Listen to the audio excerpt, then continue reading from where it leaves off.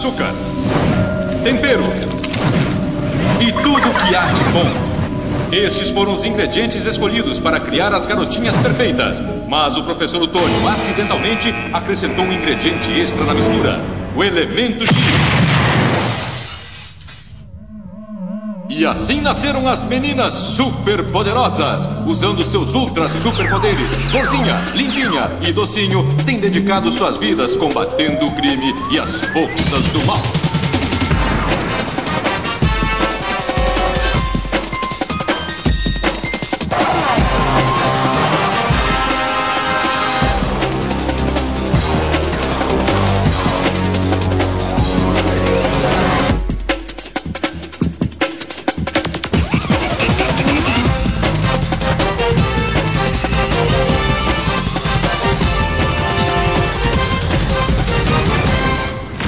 As Meninas Superpoderosas. Distribuição